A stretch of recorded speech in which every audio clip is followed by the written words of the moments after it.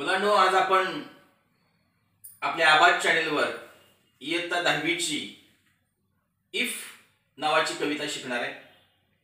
रुग्याड Kipling हे Nobel prize विजेते कवी यांची कविता आहे. खूप चांगली कविता आहे. या कवितेमध्ये वडील आपल्या मुलाला उपदेश करतात वडिलांनी मुलाला उपदेशून लिहिलेली ही असणारी कविता आहे.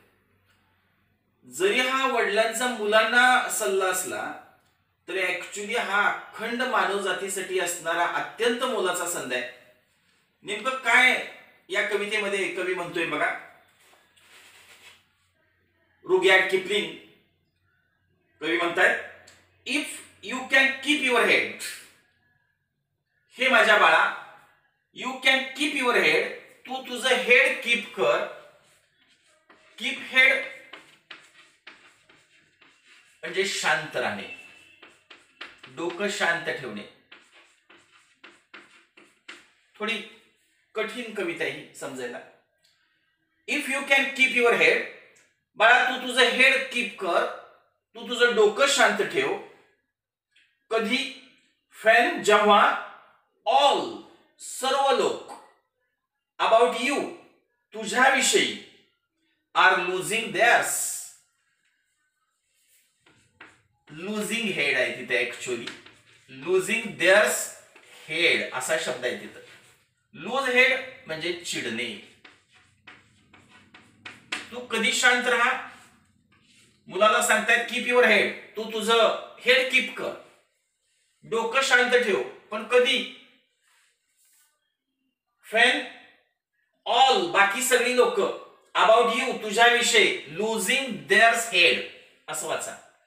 जेव्हा बाकीची चिडतील संतापतील तुझ्यावर रागावतील तेव्हा शांत राह.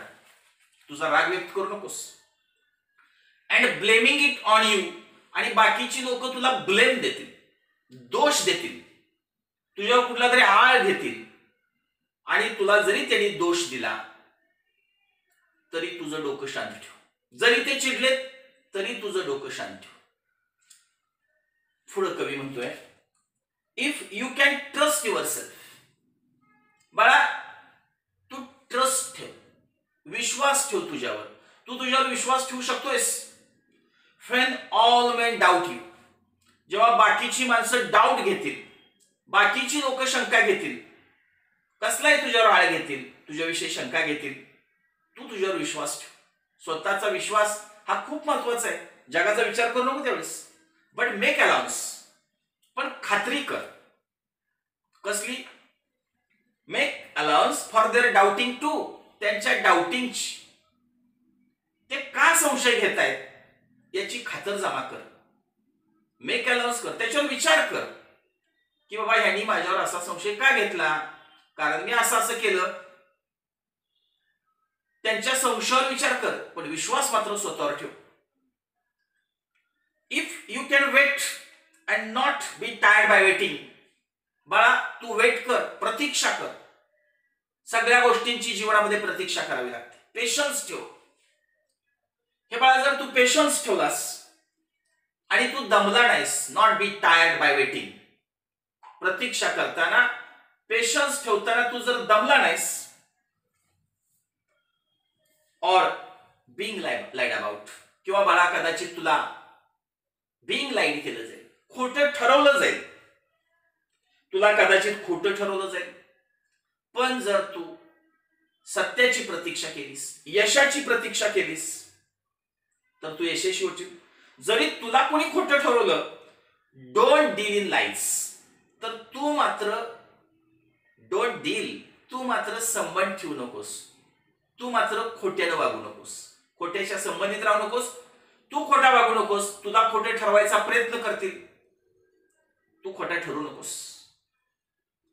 और बिंग हेटेड कदाचित बिंग हेटेड होईल. कदाचित तुझा तिरस्कार केला जाईल इतरांच्याकडून.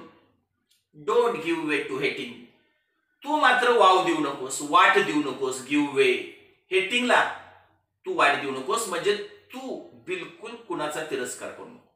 बाकीचे खोटे ठरवतील तू त्यांच्या निगडीत राहू नकोस खोट्याची. बाकीचे तुझा तिरस्कार करतील तू इतरांचा तिरस्कार करू नको. फक्त प्रतीक्षा कर पेशन्स ठेव.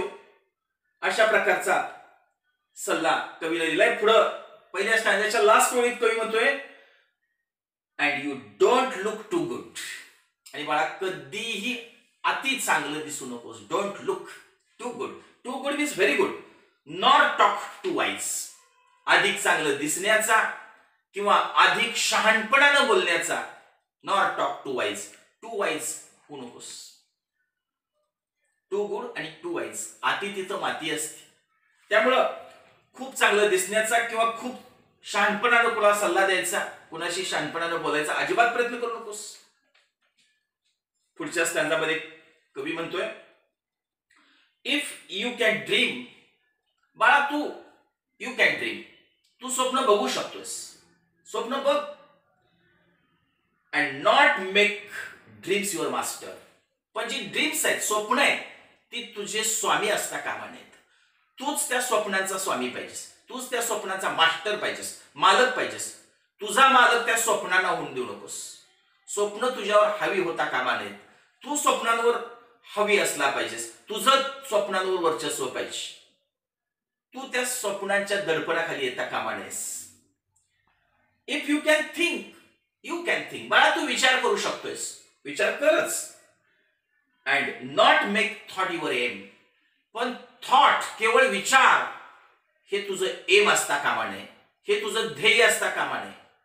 विचार कर. पण विचार हेच ध्येय ठेवू नकोस. If you can meet with triumph and disaster बा जेव्हा तू कधी भेटशील तुला कधी तोंड द्यावं लागेल विथ ट्रायम्फ विजयाला अँड डिझास्टर म्हणजे पराजयाला इथं म्हणा. डिझास्टर म्हणजे संकट. कधी तुला विजयाला यशाला आणि कदाचित कधी तुला पराजय पराजयाला तोंड द्यावं लागेल. तुझ्या जीवनामध्ये पराजय कधी होईल कधी विजय होईल? And treat those two impostors आणि तू ट्रीट कर. बाळा तू वाग त्या दोन्हीही इम्पोस्टर्स बरोबर. त्या दोन्हीही खोट्यांबरोबर तू वाढ. जस्ट द सेम एकसारखंच. जसं विजय झाल्यावर वागणार आहेस तसंच पराजय झाल्यावर सुद्धा वाग. जसा संकटात तू व्यवहार करणार आहेस वागणार आहेस स्तुतीत पण तसाच वाग. चांगल्या गोष्टींच्या बाबतीत किंवा वाईट गोष्टींच्या बाबतीत तू तसाच वाग. हे दोन फसवे इम्पोस्टर्स आहेत. हे फसवे हे काय फार काय टिकत नाहीत. ना विजय फार काय टिकतो ना पराजय. विजय झाला तरी तसाच राहा. धीरोचित राहा. पराजय झाला तरीही धीरोचित राहा. दोन्ही गोष्टी एकाच सारख्या तू पद्धतीनं त्या दोन्ही गोष्टीला तोड दे. पुढे कवी म्हणतोय if you can bear to hear the truth बाळा you can bear to hear the truth Tu bear करू शकतोस धारण करू शकतोस आत्मसात करू शकतोस to hear the truth you have spoken you have spoken जे तू बोललायस तसं तू धारण करू शकतोयस. म्हणजे जसं बोलतोयस तसं वागू शकतोस. पण असं करताना म्हणजे एखादी गोष्ट तू ठरवलीस तर त्या पद्धतीनं तू त्या गोष्टीची अंमलबजावणी करू शकतोयस. ट्विस्टेड बाय नेम्स पण तू एखादी गोष्ट ठरवलीस ना तेव्हा बाहेर नेव्ज आहेत बदमाश लोक आहेत दुष्ट लोक आहेत. ते ट्विस्टेड करतात. फसवतात. गंडवतात म्हटलं तरी चालेल. बदमाशांकडून आपल्याला गंडवण्याची शक्यता असते. म्हणजे जी गोष्ट आपण ठरवलंय की ही गोष्ट आपण करायची. तर एखादी गोष्ट तुम्ही ठरवलं असेल दहावीत नव्वद टक्के मार्क्स पडायचे. तर काही वेळेस तुमची टर उडवली जाईल. काही वेळेस तुम्हाला टोमणे मारले जातील. कुणाकडूनही मारले जातील न्यूज बसलेले असतात आपल्या आसपास. ते तुम्हाला ट्विस्टेड करतील. To make a trap for fool आणि ते ट्रॅप रचतील सापळा रचतील. कशाला? तुम्हाला फुल करायला. तुम्हाला खुळ ठरवायला खोटं ठरवायला फुल ठरवायला मूर्ख ठरवायला त्यांनी सापळा रचलेला असेल. बाळा त्या सापळ्यात तुला यायचं नाही. जे तू बोलतोयस ते धारण करायचंय. जे बोलतोयस ते व्यवहारात आणायचंय अँड वॉच द थिंग्स आणि बाळा वॉच कर बघ निरीक्षण कर. The things you gave to your life to तू तुझ्या लाईफला दिलेल्या तू तुझ्या जीवनामध्ये निर्माण केलेल्या तू जीवनामध्ये घडवणाऱ्या अनेक गोष्टी आहेत त्यांची काळजी घे. वॉच कर. ब्रोकन हा कदाचित त्या ब्रोकन होतील मोडतील तोडतील. अँड स्टूप आणि मग जर तसं झालंच तू निर्माण केलेली गोष्ट जर समजा उद्ध्वस्त झाली स्टूप अँड बिल्ड देम थोडा नम्र हो थोडा झुक आणि बिल्ड देम अप आणि ती पुन्हा बांध with worn out tools worn out tools जुनी टूल्स जी पूर्वी तू वापरलेली टूल्स होती जी पूर्वी केलेले जे उपाय होते म्हणा त्याच उपायानं तुटलेल्या मोडलेल्या ज्या गोष्टी आहेत त्या गोष्टी तू पुन्हा उभा कर. थोडा झोप. नम्र हो. आणि त्या गोष्टी पुन्हा उभा कर. If you can talk with crowds मला कधी आयुष्यात तुला क्राऊड्सशी बोलायची वेळ आली? You can talk with crowds to क्राऊड्सशी बोलू शकतोयस. अँड कीप युअर वर्च्यू अनेकांशी बोलताना तुझा वर्च्यू टिकव. अनेकांशी बोलताना तुझा सद्गुण टिकव. कीप युअर वर्च्यू तुझी सद्विवेक बुद्धी आहे ती टिकव. कारण अनेक लोक तू बोलतोयस म्हणजे अनेक जण ऐकतात. मग असं काय बोलू नको की त्यांची डोकी भडकते. असं काय बोलू नको की जे पुढची चुकीच्या मार्गाला लागतील. तू तुझा व्हर्च्यू टिकव.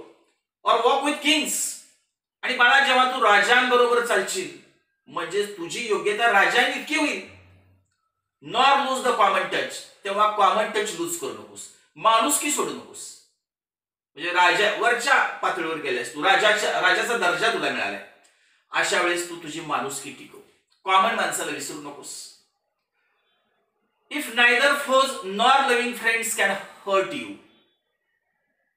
बाळा कुठलाही फोज कुठलाही शत्रू किंवा कुठलाही फ्रेंड लव्हिंग फ्रेंड म्हटले तुझा प्रिय मित्र किंवा तुझा अत्यंत कट्टर शत्रू तुला हर्ट करणार नाही. तुला इजा करणार नाही. कधी? If all men count with you जर तू सगळ्याच माणसांना काउंट विथ यू तुझ्या इतकी किंमत दिलीस सगळ्यांना तू तुझ्या इक्वल किंमत देतोयस काउंट विथ यू म्हणजे. सगळ्यांना समान लेखतोयस. बट नन टू मच पण कुणाला जादा किंमत देत नाहीस किंवा कुणालाच कमी देत नाहीस सगळ्यांना तुझ्या इतकी समान किंमत देतोयस तेव्हा तुला शत्रू किंवा मित्र असणार नाहीत. ते तुला इजा करू शकणार नाहीत. शेवटी खूप मौलिक सल्ला कवी देतोय. तो म्हणतोय बाळा if you can fill the unforgiving minute बाळा जर तू भरू शकलास फील केलंस द अनफॉरगिव्हिंग निर्णय मिनिट काळ काय निर्णय थांबत नाही कोणासाठी. आता क्षण आहे तो गेला. प्रत्येक क्षण क्षण क्षण निघून जात असतात. टप्प टक टक टक टक थांबत नाही कुणासाठी थांबत नाही देवासाठी वेळ थांबत नाही. आणि हा अनफॉरगिव्हिंग आहे निर्दय काळ. हा निर्दय काळ फील कर भर. कशानं? म्हणजे क्षण क्षणभर कशानं? विथ सिक्स्टी सेकंड साठ सेकंदाचं वर्थ ऑफ डिस्टन्स रन सात सेकंदाचं वर्थ योग्य काम. हे जे डिस्टन्स आहे बारा ते बारा टक टक टक टक टक टक टक हे जे अंतर आहे हा क्षण क्षण तू वर्थ न भर योग्य कामानं भर. म्हणजेच प्रत्येक क्षण क्षण बाळा तू चांगल्या कामानं भर कष्टानं भर प्रामाणिकपणानं भर. जे जे जगात योग्य आहे वर्थ आहे त्याने प्रत्येक क्षण भर. म्हणजे अहोरात्र कष्ट कर. असं केलंस तर युवर्स इज द अर्थ हे विश्व तुझं आहे. E ई कॅपिटल आहे तिथे. मला हे विश्व तुझं आहे. अँड एव्हरीथिंग आणि प्रत्येक गोष्ट that that is in it प्रत्येक गोष्ट दॅट इज म्हणजेच पृथ्वीवरच्या सगळ्या गोष्टी एव्हरीथिंग इन इट म्हणजे ही हे विश्व तुझं आहेच पण या विश्वातली प्रत्येक गोष्ट तुझी असेल. पण करायचं काय? क्षण क्षण हार्डवर्क करायचं. अँड विच इज मोर आणि एवढं केलं तर खूप झालं बाळा you will be a man Tu man होशील. एम कॅपिटल आहे. तू महामानव होशील. सुपरमॅन होशील.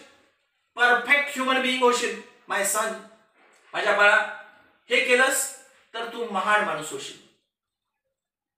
आता अलंकाराच्या बाबतीत म्हणाल तर या कवितेतला सर्वात डॉमिनंट अलंकार आहे तो अँटीथेसिस आहे. अँटीथेसिस यामध्ये विरोधाभास असतो. कशाचा विरोधाभास असतोय? एकाच ओळीत एकमेकांच्या विरुद्ध असणारे दोन शब्द येतात. जसं की इथं आपण बघितलं कीप हेड आणि लूज हेड डोकं शांत ठेवणे आणि चिडणे. अनेक ठिकाणी इथं असं झालंय की जिथं एकमेकांच्या विरुद्धार्थी शब्द आले जसं की ट्रस्ट आणि डाऊट विश्वास ठेवणे संशय घेणे. ट्रस्ट असे शब्द आलाय. आणि त्याच ओळीत दुसरा जो शब्द आलाय तो डाऊट आहे.